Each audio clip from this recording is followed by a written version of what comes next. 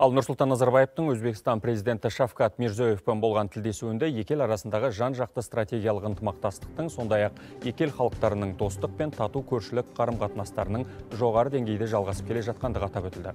Тараптар бірін-бірі келе жатқан жаңа жылмен құттықтады.